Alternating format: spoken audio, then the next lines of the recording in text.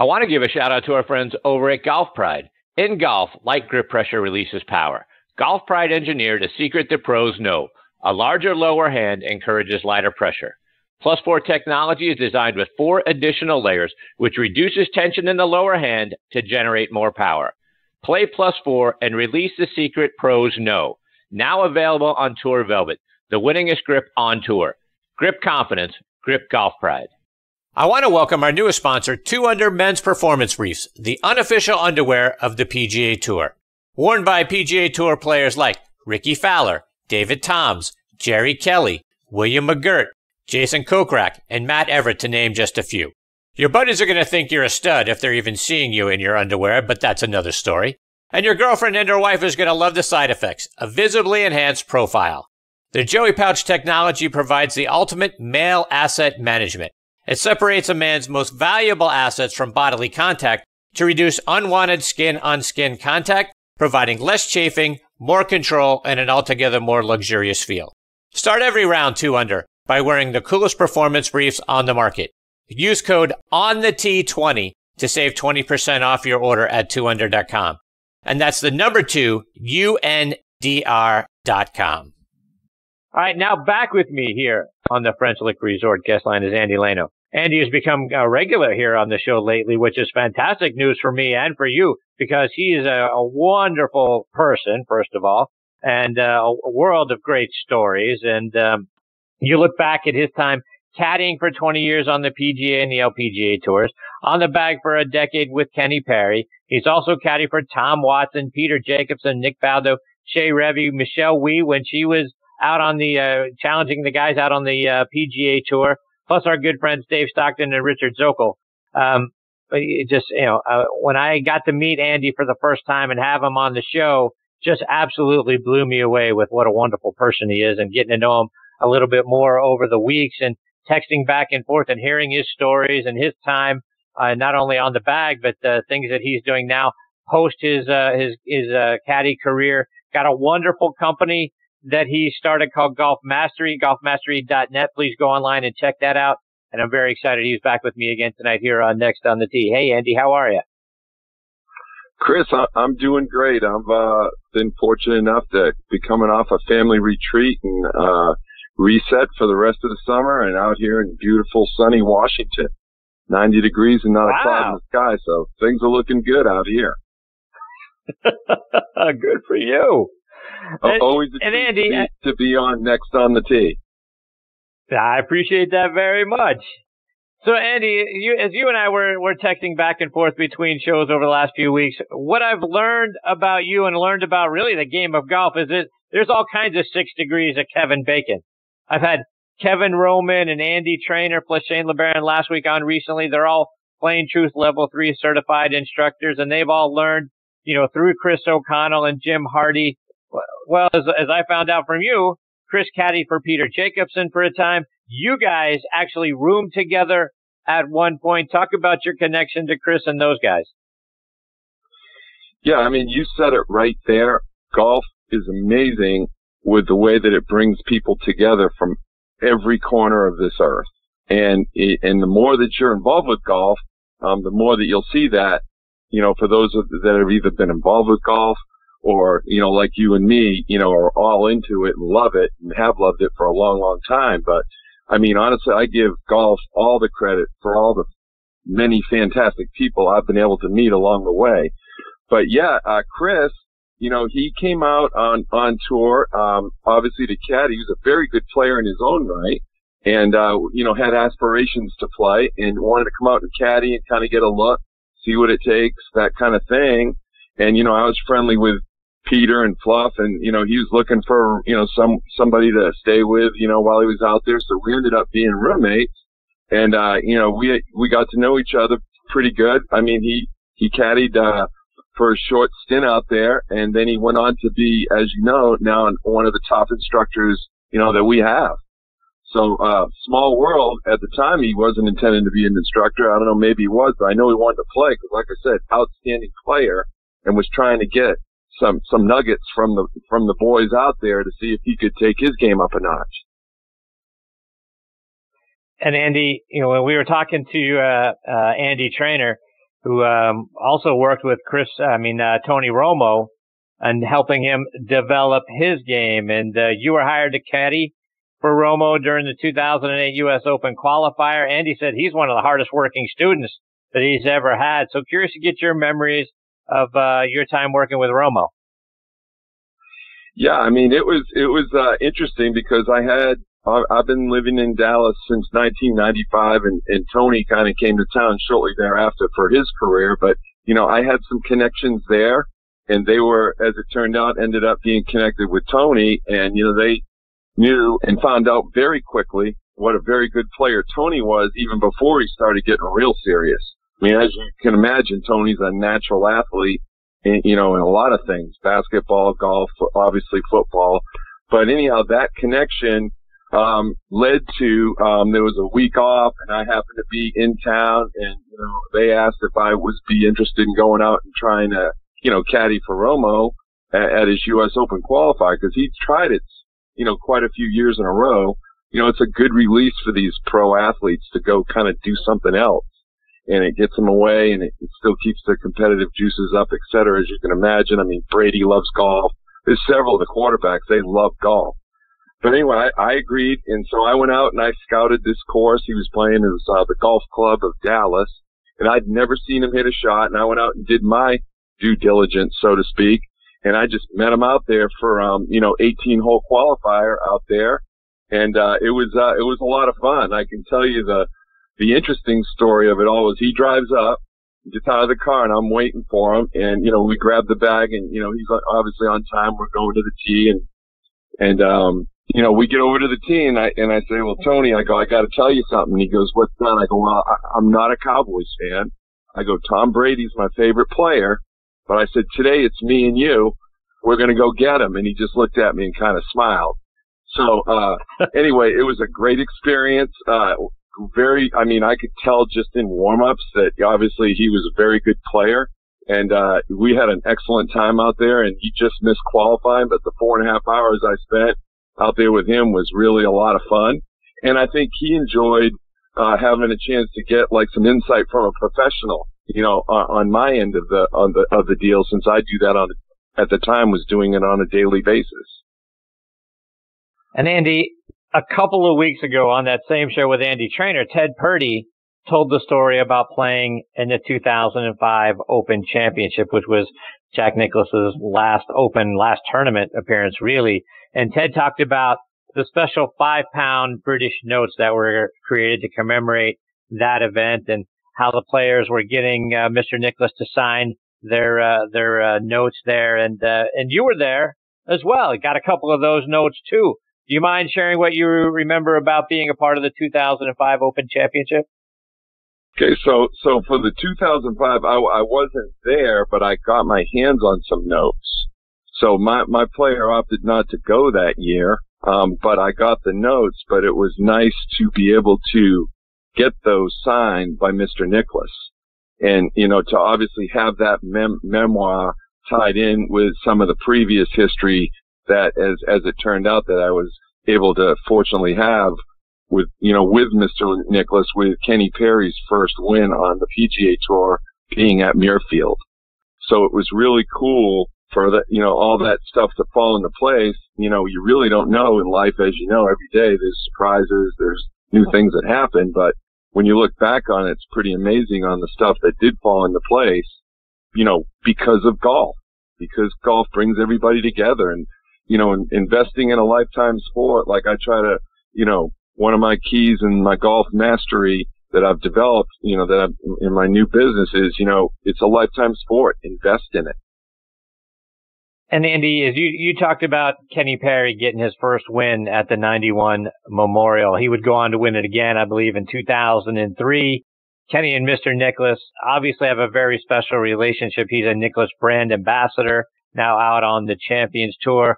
What what have you seen with their relationship? What is that like, and what have their interactions been like over the years?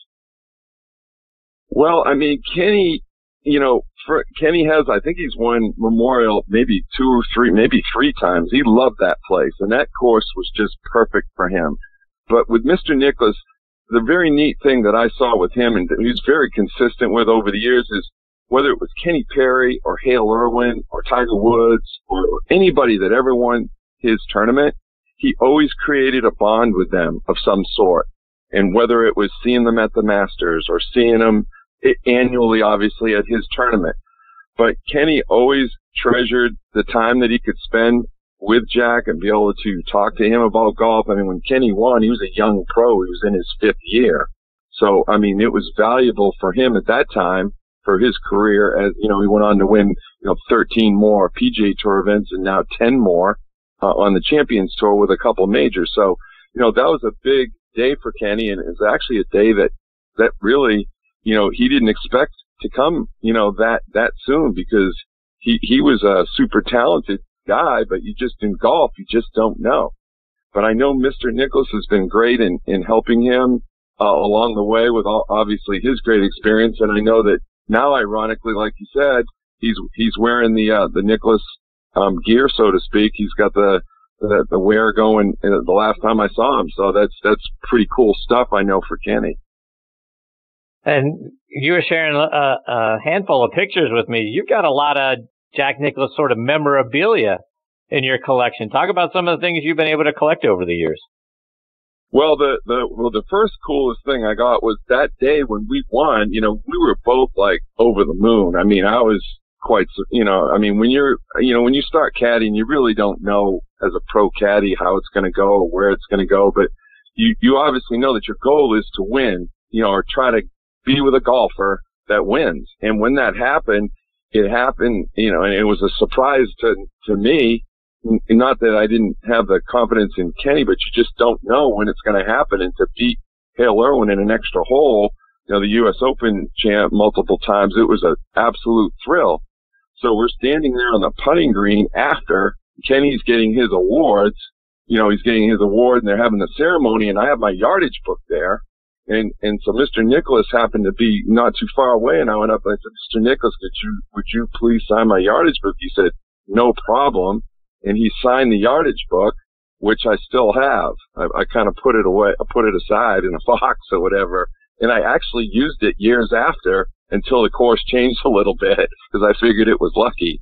But yeah, I got that and I've got one of his game, yeah, I've got one of his game used balls and I got the note that you mentioned. And then later on, a couple years later, in between a break, he was looking for a caddy and I wrote him a letter and asked him if I could be, you know, on a tryout basis or, or try out to be his caddy because his sons were moving on to things and, you know, he was kind of just kind of playing, you know, part, I don't know, part-time golf, so to speak, but he still needed a caddy. So, you know, I wasn't able to get that job, but it, you know, the class that he has, he wrote me a letter, sent, I mean, you know, back in the days where you didn't have internet and texting and he, you know, he dictated or somebody dictated a letter, he signed it and sent it to me and I still have it.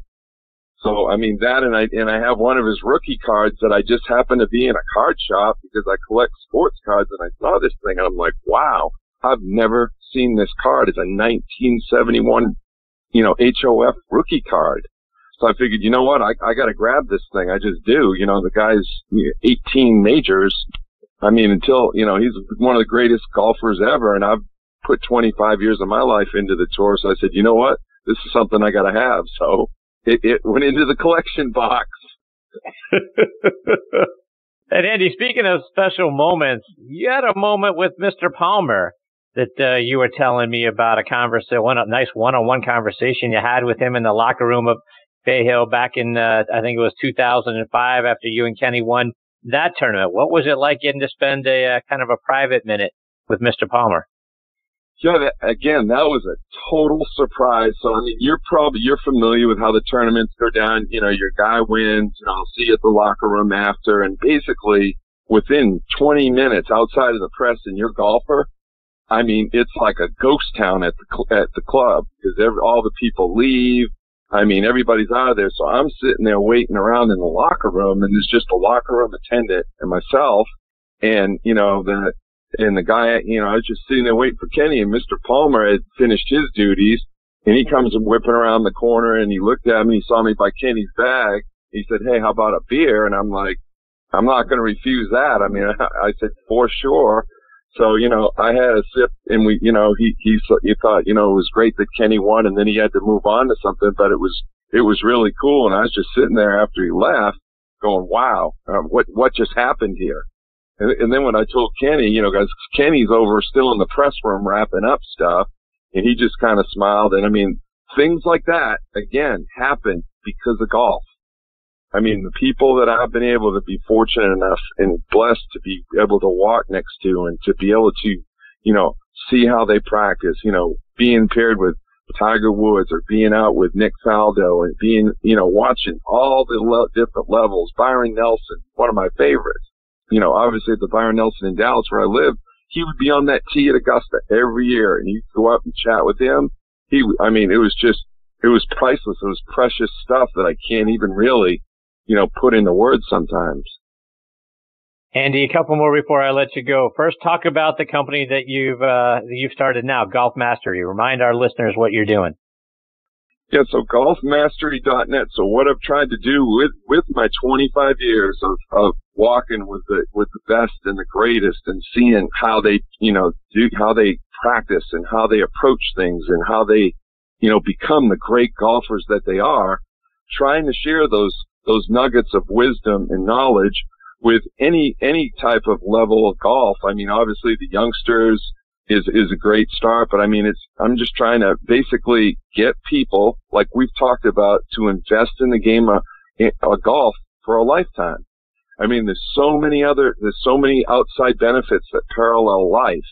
I mean, obviously, you know, in golf is it's it's it's outdoors, it's exercise, it's mixing it up with all kinds of you know, people, whether it's race, religion, you know, it, there's just, there's no limits to golf. Like I, like I speak, you know, to my juniors, I say, it's, it's all on you. You don't need anybody to play catch and you don't need anybody to go retrieve a ball for you.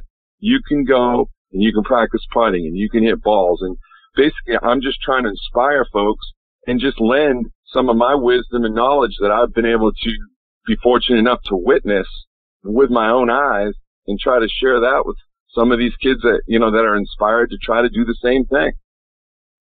Andy, I'm, uh, I'm getting ready to head up to, uh, to Boston on, uh, Thursday. My son and I are going to be taking in a couple of Red Sox games at Fenway. Looking forward to sharing that experience with him. Got to get your thoughts on the Red Sox before I let you go. Any hope uh, left for this team for this year?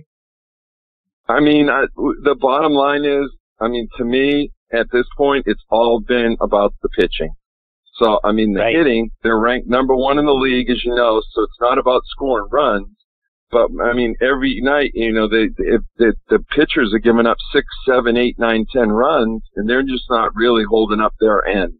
So, I mean, the way the Yankees are hitting the ball and some of the other teams, I don't, I, I mean, I'm not going to give up on them. There's still, I don't know, 50, 60 games left and you you know you can get a hot streak and get in the wild card, and then you never know, right?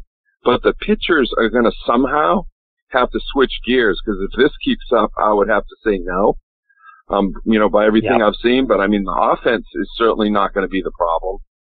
So that'll be fun to go to Fenway. It's always a treat to be there and to, regardless of how they're doing, because that is one fun place, as you know. Absolutely. Can't wait to be there. Andy, thank you so much for your time, my friend. Always good having you as part of the show. I can't thank you enough uh, for becoming a semi-regular here over the last couple of months. It's really been great hearing your stories from inside the ropes and your experiences and that sort of thing. I hope you'll continue to come back and join me. Well, thank you very much, Chris. It's a pleasure and a treat to be able to share them. And like I said, I'm always here for you. If you need any fillers, I, I can, I'm usually here for you. You can count on me. And, and again, thanks very much for inviting me to, to share to share these stories. I appreciate it. Thank you, Andy. Take care, my friend. I look forward to catching up with you again real soon. All right, you too. Go Sox. Go Sox, indeed. See, Andy. That's Andy Lano. L-A-N-O. Golfmastery.net is the site. A Lano, I-I, and for the second, obviously, is uh, where you can find him on social media. He's uh, he's been fantastic, and I really can't thank him enough for being kind and generous with his time and coming back and being a part of the show here over the last probably month and a half or two. So uh, he's great. Follow him and uh, look forward to getting him back on the show.